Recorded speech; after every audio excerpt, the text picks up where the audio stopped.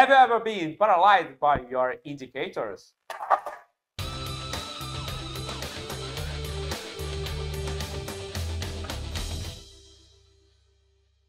Welcome everyone to Traders of the World, our new interview show where we bring inspiring stories about the financial market and incredible guests. I am Matheus Massari and with me I have Flavio Lemos. Hello world!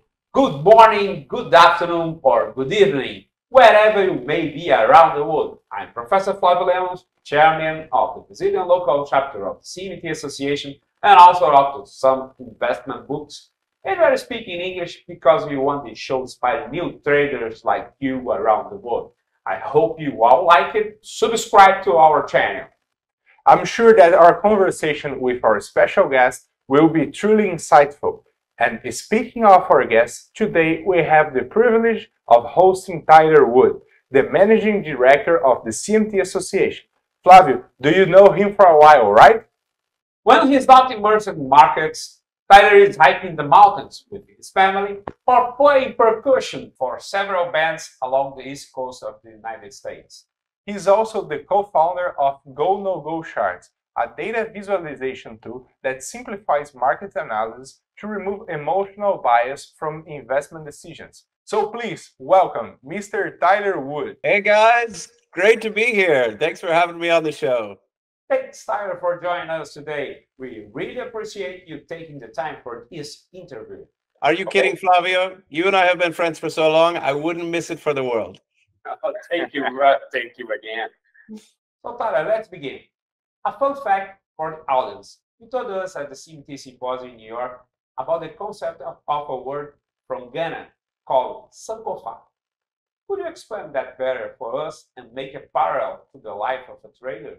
But of course. Uh, so we got to see each other in April in New York City at the 50th anniversary symposium of the CMT Association. And one of the great joys that I have uh, working for this nonprofit is that I get to meet some of the founders, some of the innovators, the men and women of Wall Street and Bay Street and Dalal Street who've helped uh, create this discipline of technical analysis and educate the wider financial industry.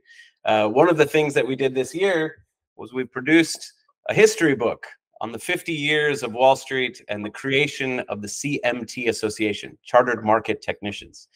And so when we started the conference, uh, I went back to uh, some of the things that I learned in undergrad. I had a great ethnomusicology professor from Ghana. I have some family who lives in Ghana. I've been there many times and, and studied music there. And there's this concept from the Akan people called Sankofa. And it's represented by this Adinkra symbol that we see on screen. Now, you might notice that the bird is moving forward, but craning its neck back around to retrieve that egg from its backside. So the, the parable or the phrase, Sewo werefina wo senkofa ayenchi, it really is translated from Twi into English to mean that it is not taboo to go back and fetch what you forgot. And so the meaning for all this to, to me and thinking about investors is that we can pay our tuition to Mr. Market. We can make lots of mistakes in our trading and they can be very costly. Or we can talk to the folks who have done this through multiple market cycles, like yourself, Professor Lemos, who is teaching folks some of those uh, some of those common pitfalls, some of the mistakes that we all make, and the power of this concept, Sankofa, centers around this that to know the history and your heritage is to know your current self and the world around you. And that's the only way that we uh, that we get better and, and, make both a better place for all of us. So uh, that concept kind of uh, summarized for me what that 50th anniversary conference was all about. But also shows like this, Traders of the World are, are there to help share some of the heritage for where all these tools come from and what was created uh, by the generations before us that could give us some insights into what we can create for the generation to come. Since 2011, you have presented the tools of technical analysis around the world. So tell us about your beginning as a trader. From the start, what did you study? So uh, I certainly took a circuitous path into finance. And uh, a lot of the folks in technical analysis that I talk to uh, come from a similar background, which is not strictly finance. They didn't go into accounting. Uh, but we studied other things. So I, I did my undergraduate degree at Macalester College in St. Paul, Minnesota. Uh, it was a wonderful four years, uh, a great interdisciplinary study. I took classes in political theory, political science, and in anthropology and sociology. Uh, I have to tell you that uh, I thought I was going to be a biologist. I really loved biology in high school, and I came to college and uh, realized that that was not the path for me. But I found a different path, and I studied music and, and liberal arts. And then uh, I joined my now wife in Indiana. She went to a doctoral program, uh, and after auditioning for music school in LA and thinking about you know just pursuing music uh, out on on the West Coast, we decided that uh, we were better off together. So I, I went to Indiana, and that was where I did my MBA from the Kelley School of Business at Indiana University. And there's nothing against the uh, the great professors that I had there, but it was very strictly fundamental analysis, corporate finance, managerial accounting, macro and microeconomics. Uh, none of the professors really gave much attention to, or certainly not positive attention, to the field of technical analysis. So it wasn't until uh, 2010 when we moved to New York City and I found this organization, the Market Technicians Association of New York, MTA was the old name. Uh, and I met folks like Phil Roth and Louise Yamada and Ralph Acampora and uh, Bruce Kamich, and they were just so generous with their time to help me understand that what I had learned was how companies work. And if you're going to run a company or, or be a product line manager or you know do do that, uh, those are very important tools to understand. But if you're going to trade in public markets, you're not buying the whole company. You're buying shares. You're buying stock. And so learning how the market works, uh, that was my next education or re-education, so to speak, through the CMT Association.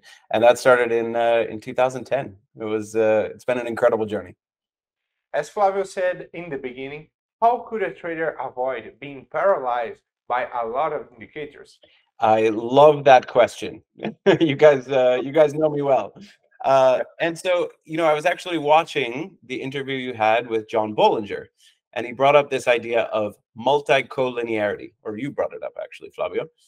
And the idea behind most technical analysis is that we want to be objective in our approach. We want to remove subjectivity. We want to remove a lot of the narrative or emotional decision making from our trades. So to do that as a technical analyst, we might look at a number of criteria, a responsible checklist for how we would identify trends. Uh, this gentleman, uh, John Henry, is, uh, is, is kind of a hero of mine, a great trend following investor, uh, ran the Boston University Endowment, also owns the Boston Red Sox and Roush Fenway Racing. Uh, he, the first time I saw his name was actually when I read the book Moneyball. And the idea there was taking statistics to inform player selection and they put together championship winning teams for the, the Boston Red Sox baseball franchise by simply looking at player statistics. So if we apply that to the markets, and John Henry did that uh, quite effectively, first in the commodities business. Uh, he started in, in, very humble beginnings in South Illinois on a soybean farm, learned the commodities trade, and then applied this concept of statistical rigor to investing at large. And his whole idea is if you can remove what you think you know or what you believe will be the case and just look at what's actually happening, you can react responsibly. So for all of us trend followers, it might start with you know simply visualizing you know whether a, a security or an index is moving in a general direction from bottom left to upper right and that's that's great. You know, technical analysis started with very classical techniques, looking at uh, pattern recognition and, and price action. Um, but this is still a little subjective, and it's really only useful in hindsight. We can identify that this was a trend once we get up here to the top right corner. Now, if we want to be more objective, we might apply something like Donchian channels, right? Uh, Richard Dennis, the, the famed uh, creator of the Turtle Traders, uh, Flavio, you and I got to spend some time with Jerry Parker at the CMT conference. He's one of the original turtles and now runs Chesapeake Capital. Just a tremendous trend follower. Well, Donchian channels was one of the uh, the first rules that Richard Dennis taught them for timing entries. And all they do is they look uh, a look back period, uh, striking new highs and higher lows. And, and you can be objective about price trending in an upward direction. This Donchian channel is breaking up to the upside. So that's one tool. we have our visual analysis. We have some Donchian channels. Of course, we're going to use moving averages, right? How is price performing relative to its uh, historical average? Well, if one moving average is good, maybe three would be even better. And you start to add additional lines to the chart, right? I talked to some young traders, and they're not even just using three moving averages; they're using many, many more. Um, but you can start to understand that moving average crosses might give you some entry or exit signals, um, and you can set your parameters around these uh, the periods of your moving averages and adjust things to your own time frame. Then you might also look at something like Bollinger Bands, which could be used to identify new trends at the break, at the expansion of volatility from a relatively narrow area. So here Bollinger Bands are, are tightening, and then we see a break to the upside. Now, what Bollinger taught us was that two standard deviations from the mean should encompass about 95% of all the data in a normally distributed data set. We know financial markets are not perfectly normally distributed, but this is significant price action when it's pushing the upper band of the Bollinger Bands to the upside. That's a breakout for a trend follower. Well, then we can add something like volume, a confirmatory indicator. Does the market actually stand behind this new price rally? Are there enthusiastic buyers? And then, of course, we might look at a myriad of different other indicators like the MACD, the moving average convergence divergence, to give us a sense of momentum on those trends.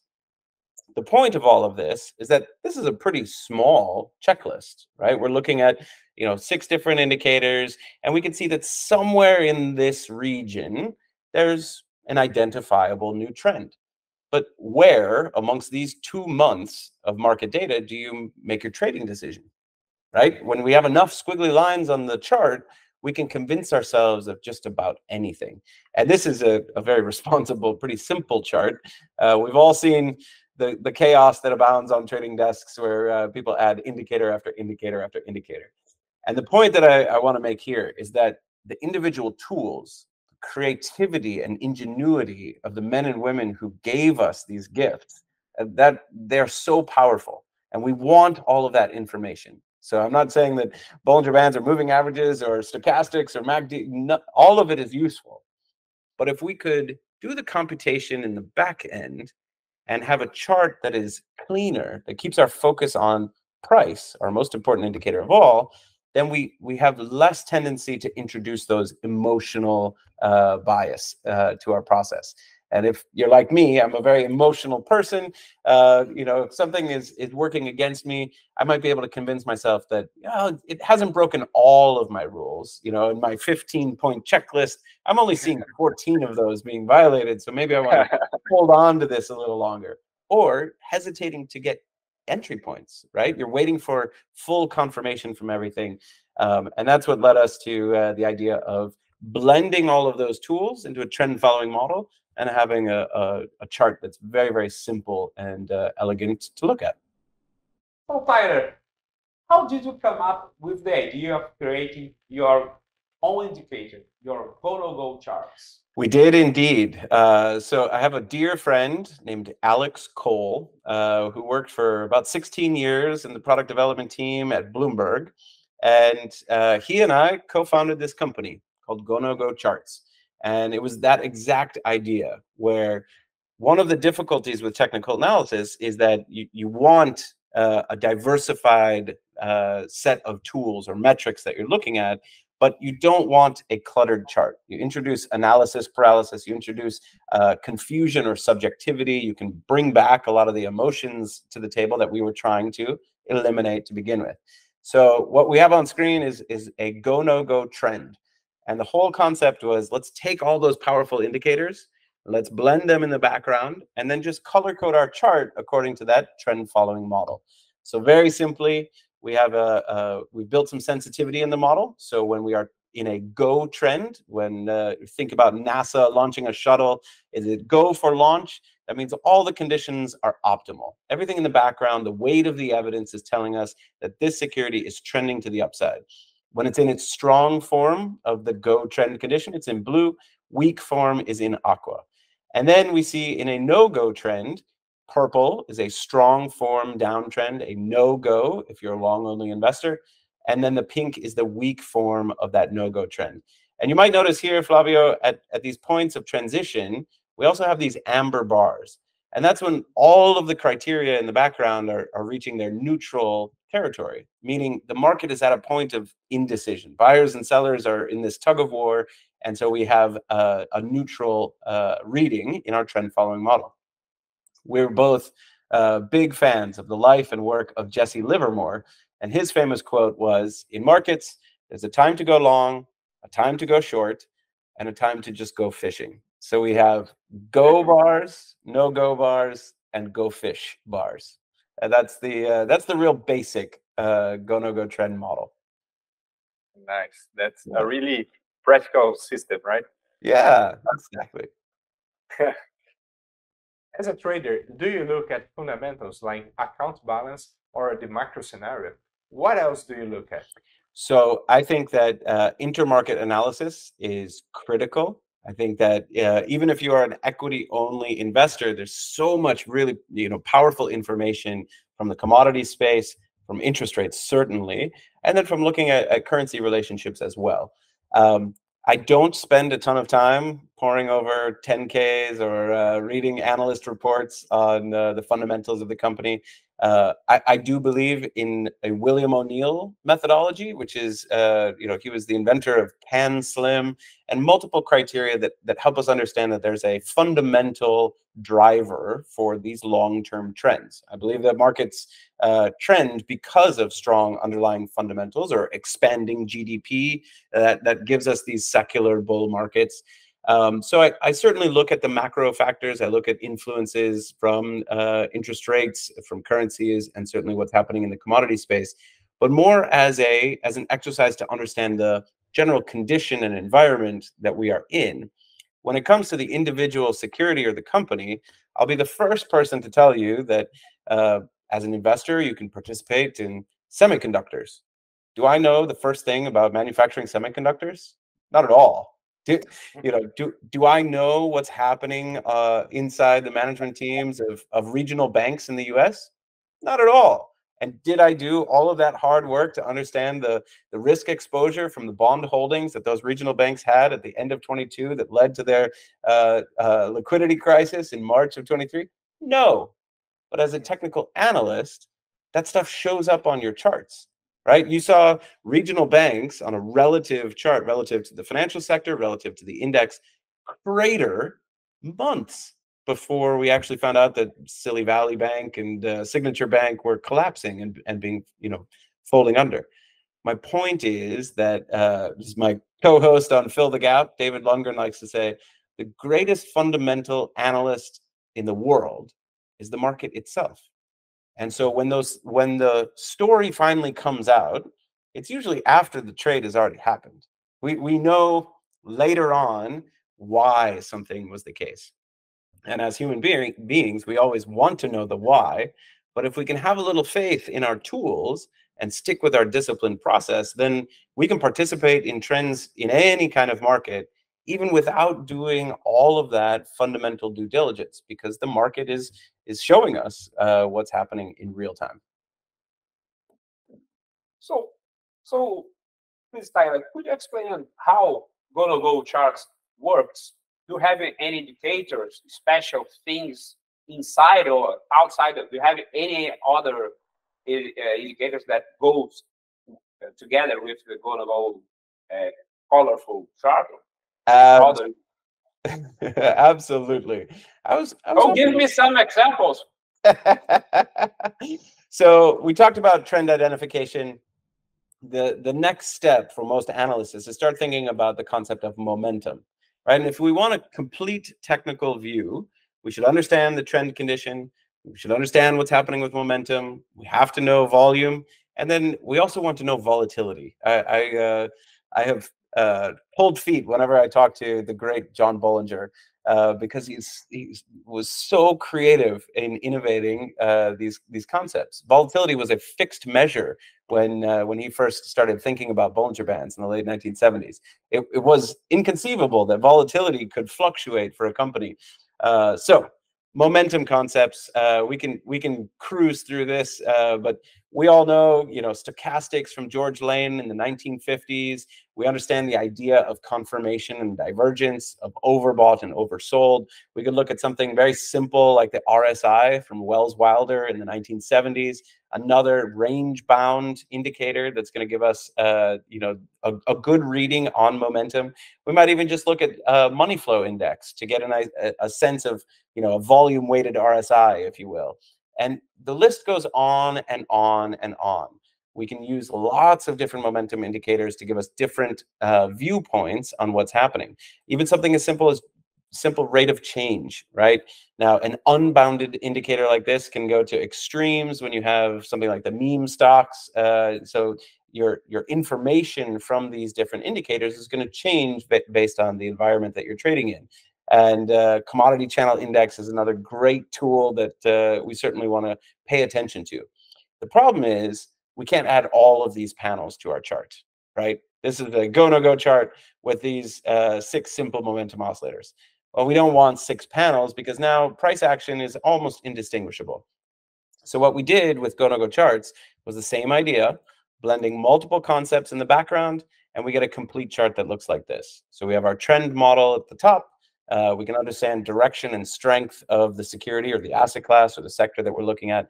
But then we also have a single oscillator that's going to give us the, the viewpoint that all of those momentum oscillators do, but in a simplified way. Ours ranges from negative six to positive six. So already the, the overbought and oversold levels are easier to pick out.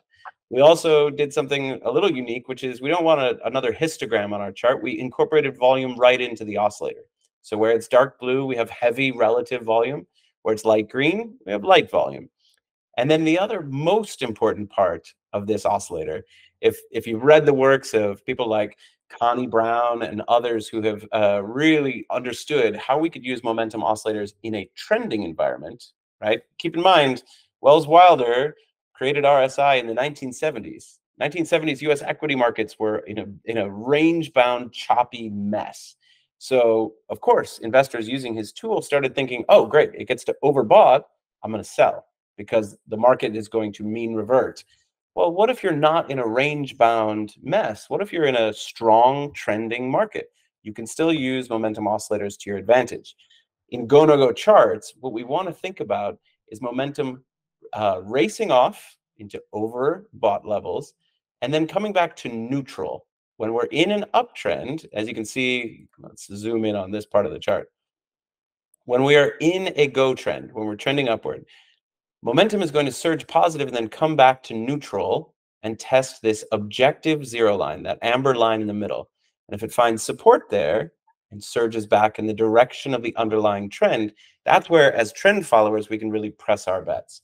And I, have got a funny story about uh, about momentum oscillators. Uh, Ralph came into the CMT office early on when I when I first started working there, and of course, he's he's such a wonderful, lovable human being I wanted to impress him.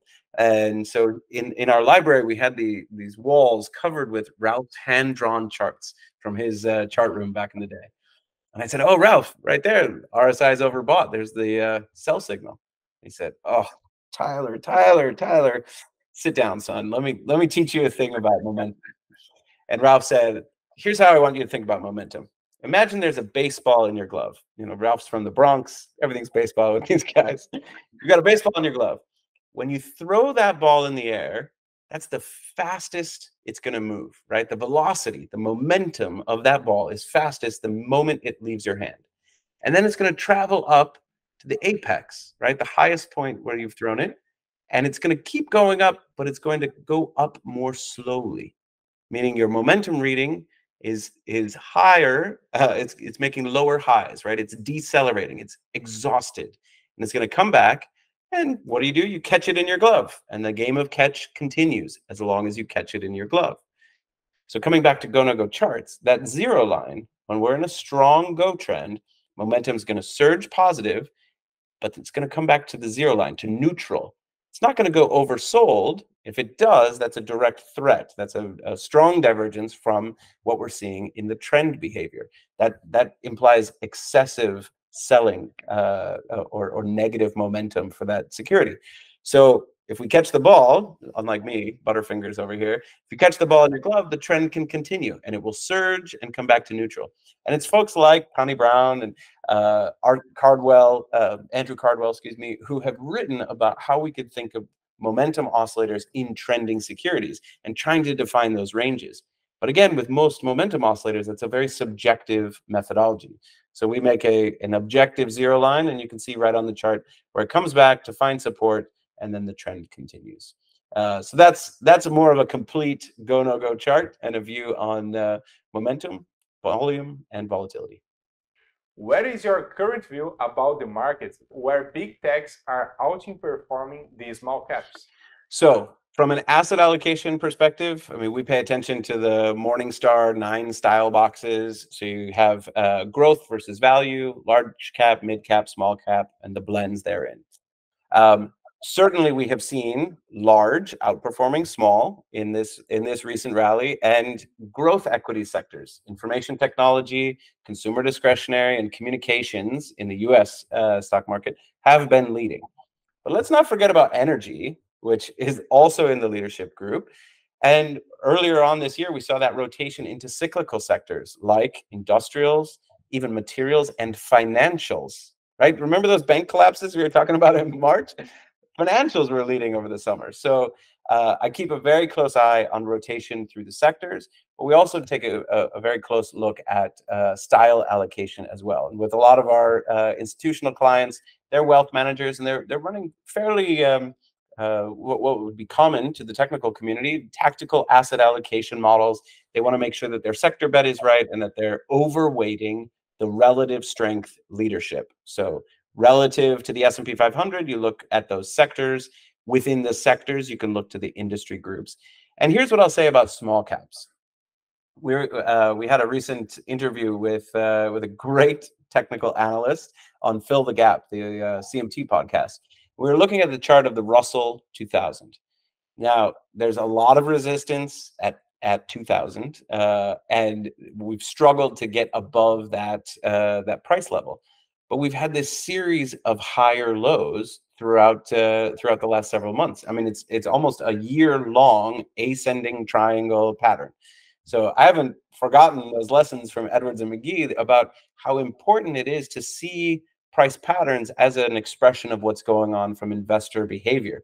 So yes, there's a there's a supply, there's resistance at 2000, but we're seeing those series of higher lows, meaning that buyers are stepping in at higher and higher price points on a small cap index like the Russell 2000, where there's more and more demand eating up, and so it's not selling off; it's it's simply basing out. And uh, I'm I'm very I'm very bullish on uh, what what seems to be a very constructive setup to this market. It's not surprising to me that here in September we've seen some of the very largest uh, names roll over, like Apple. Um, but if you look at a, a weekly chart of Apple, we've simply come back down to what was a resistance line in uh, the end of 2022. It's now support in 2023. That's that polarity principle, uh, a core concept for technical analysts. And so, as long as we're above that uh, that support line, what was resistance last year is now support. Uh, it, it, seems like a pullback within an otherwise uh, larger term secular uptrend. So I don't think the story is over for uh, large cap tech names like Apple. Uh, but certainly it makes sense for them to to take a pause. And you know we're seeing that rotation in terms of leadership into other sectors of the markets. Right now energy is uh, is is the the leading lady so to speak. Um, and it's nice to see that uh, that rotation take shape because we can't uh, we can't have a raging bull market unless there's more participation. Uh, we want to see breadth expansion and all of that. So so yeah that's what i would say about large versus small, and uh, style groups. It's healthy for the market. Uh, other other companies participate. If there is no not just Nvidia at the market, there is another five thousand names in the market. You know, you make a great point there, Flavio. Uh, in a cap-weighted index like the S and P, some of these extremely large names. If if they're not uh, uh, trending upwards, then the index can't really go anywhere. So as investors, we we have to know that it's a market of stocks, not a stock market, and start to diversify our holdings and look to individual securities or industry groups so that we are capturing those things that are relative outperformers and not just uh, passive index holders, as uh, many many fund managers have become. Tyler, do you consider yourself trend follower trader, a swing trader? What's your personal style as a trader? What's your personal trader's routine? Uh, so let me first declare that I might be the world's worst trader. Uh, I do not pride myself on my historical track record for trading individual securities. Uh, with with our family, uh, and given how busy life is, I have a very simple tactical asset allocation model. Uh, I use go no go charts in everything that I do, um, but I'm just rebalancing uh, weekly based on relative strength leadership, and then and that's for the equity side of the portfolio. I have some longer term uh, holdings that are uh, maybe more thematic based, and that's uh, that's largely driven by you know the intermarket work and uh, and some broad themes. So uh, so I I keep uh, I keep my trading to a minimum. Uh, when when I did attempt the very short term work, uh, you know, gave me gave me great stress and anxiety, and uh, I made all the behavioral mistakes that everybody makes. So I found that longer time frames, sticking with the trends that are working, and uh, and a much more simple uh, asset allocation technique is is better for me and I'm a happier husband. but buy and hold is a trader strategy, so it's, it's okay, no problem. You know, buy and hold. Uh, that that is what I learned in uh, in graduate school, and and what I have heard so many fund managers. Uh, I mean, they pound the table that that's the way to do it. The problem is uh, those once in a lifetime events. Uh, they've happened three times in the last twenty years. So if you're a portfolio manager and you tell your clients we're, we're, we're a buy and hold strategy. We just you know we're just going to get into something and we're never going to let go. Well three times in the last 20 years those clients have been cut in half. I mean to me that's malpractice. That's worthy of uh, of some uh, disciplinary action from uh, from clients to pm because what else are they paying you for? If not to take an active approach and protect their downside risk so those once in a lifetime events seem to be happening uh, a little more frequently than the buy and hold folks would like to admit. And Tyler, could you tell us more about how to become a CMT charter holder? Absolutely. So uh, this this organization is uh, is near and dear to my heart. Uh, the CMT program itself is open to anyone uh, that's interested in learning technical analysis and a responsible approach to these tools. Uh, I'll tell you, there is a lot of content out there about technical analysis. Uh, but when the organization first started in the late 1960s, there was this environment, they called them tip and clip clubs. So predatory broker dealers were trying to give clients this get rich quick schemes, and they were saying that was technical analysis. And in 2020 and 2021, we saw a lot of you know TikTok traders coming out with uh, very silly schemes. We, we saw SPACs explode, the cryptocurrency craze, the meme stocks. Everybody was trying to make uh, make a quick buck. Well, that's irresponsible. And so the CMT program was set up to differentiate, to create a, a rigorous standards of competence and ethics in financial markets, and it's for professionals. So anybody can come in and uh, sit for the exams. In fact, we have a very robust academic partner program. There are university students all over the globe uh, who are learning these tools and, and sitting for the first levels of the exam. But to be a chartered market technician, a CMT charter holder, you do have to have professional work experience and uh, and be a contributing member of the financial services industry. Um, it's three levels of exam, and this is your level three textbook. It's pretty robust. It's about 1,200 pages, and it's a lot of hours of study. Um, and uh, getting through the exam process, uh, what I found, certainly a lot of hard work but comparing that to some of the other subjects that I've uh, studied in my life, this is so practical. Like you finish a chapter that night, you've uh, you've taken some notes, you've got ideas in your head, and the very next day you can put them into into action. You can see it happening right in front of you on your charts, as opposed to some of the accounting classes that I took in in college. First of all, you're waiting for quarterly data reported by the companies, and then it's often restated after the fact. Uh, you can't always believe what the companies are telling you, circa Enron or uh, uh, you, you name your financial collapse.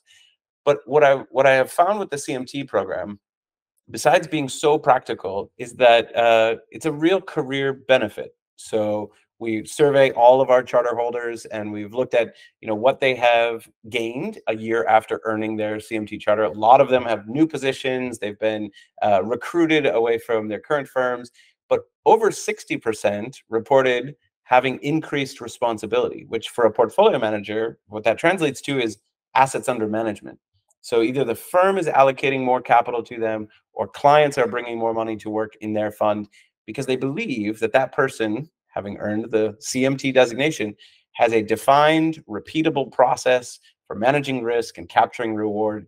Uh, and I uh, I can't encourage people enough. Obviously, I'm biased, but uh, for me, the CMT program, even after being around technicians for years, uh, I found that the breadth of topics covered really opened my eyes to other areas of the market that uh, that I wasn't currently incorporating into my discipline, into my practice. And uh, it's a really it's a really powerful program. But of course, the learning doesn't stop just with the exams. Uh, our membership around the world engages in continuing education uh, all over the place, like the symposium and our webcasts and journal publishing and magazines and you name it. We, we produce a lot of content and try to keep everybody on that cutting edge of uh, where the discipline is headed. So more information is at cmtassociation.org. So, Tyler, besides being a CMT charter holder, what advice would you give to younger traders? Also, could you suggest some good books? Yes. Uh, so I would tell everybody in their youth to make as many mistakes as possible and get really comfortable with it, right? Investing is not about being right, it's about making money. And so the sooner you can grasp the idea that um, the market is, is there to make a fool out of as many people as possible, the, the sooner you can understand that there will be trades where you are wrong and you need to get out. Uh, the better you will do long run. Um, and you know, people think that's crazy. Uh, when I talk to university students, you know, they're they're all trying to get the A on their paper. They're all trying to you know impress the professor, and so they're terrified of failure. And I think that's I think that's really dangerous. Uh, think about baseball. When uh, when a professional major league baseball player bats 300 throughout their career, we put them in the Hall of Fame, and children go around carrying their their trading card and wearing their jersey. Well, batting 300 means they strike out 70% of the time. They strike out 70% of the time, and they're the best in the world. And so when you talk to these trend following investors like uh, David Harding at Winton Capital or Jerry Parker at Chesapeake or, or Paul Tudor Jones, they love their losing trades. They're looking for them all the time. They embrace their losing trades because they want to get out of them as quickly as possible. They they admit that they're not always going to be right, and I think the sooner we get comfortable with that, uh, the better off we will be as investors. It's certainly okay to be wrong. It's just not okay to stay wrong. Uh, and then you asked about books to read. Uh, I certainly think everybody should pick up the CMT Level 1 curriculum, regardless of whether you sit for the exams. It's a great, broad overview of uh, basic terminology, basic concepts. Uh, but I've loved the Market Wizards books by Jack Jack Schwager. Uh, those personal stories are are just incredible. I would encourage everybody to pick up a book by Andreas Clenow, uh, who's written at length about systematic trend following and CTA industry. Um, and then I would say, you know, Daniel Kahneman's Thinking Fast and Slow. If you want to understand sort of the, the human psychology component, the behavioral side of investing, uh, that's a great read as well. Um, and for those who are thinking about, you know, sort of asset allocation and all that, uh, Mebane Faber, Meb Faber is a CMT, uh, and he's written a lot about the Ivy portfolio and global asset allocation, and those are all really great reads as well. Jack Schwager was here with me 2004, and mm-hmm. he made a great presentation with Steve Diesel too. So I know in person, and I and I knew uh, Kino yeah, this year in New York. He's he has a wonderful uh, trend follower books. Huh? He's the like a the, the Bible of the training following is his books. He is a very So- prolific author, as are you, Flavio. So I will tell everybody who's watching Traders of the World, if you are Brazilian, you got to pick up a book by uh, Professor Flavio Lemos. Oh, CMT. thank you very much. Thank you very much. My kids, my kids are pleased for this. Okay, Tyler. In 2022, in Washington, D.C., you told me to get on stage and make a presentation without, with no preparation at all. And I said, okay, I will do that if you give me a beer on the stage. And you did. And I did the presentation. So now it's my time to end with a grand finale. Could you play some drums for us? Uh, how, how did I know that uh, that little stunt was going to come back to haunt me? Uh, and by the way, you and uh, Eric Conrad and JC Parets and Akshay Chincholkar did an incredible job because it- with the language of technical analysis, it it, it doesn't require uh, you know hours and weeks and months of preparation. You can have a sensible uh, commentary on any market worldwide just by looking at the chart because the tools are the same whether you're looking at a a, a weekly chart of the S&P 500 or a 1 minute chart of uh, of GameStop uh, you can apply the tools in the same way. So, uh, a a plus to you Flavio for uh, for taking the challenge. And I guess it is my turn. Uh, I, I thought, I thought maybe instead of uh, banging on my loud drums uh, you know you brought up the the concept of sankofa. So Flavio I spent a lot of time in college working with an ethnomusicologist named Sowah Mensah. And uh, Sowah is from Ghana and he taught us lots of different music. Uh, this instrument is called the gyil, and it is from northern Ghana, from the Dagara people. Uh, they play this welcome song at social events uh, as people are coming together as a way to uh, bring about that festive spirit. Uh, so here is the welcome song played on the gyil.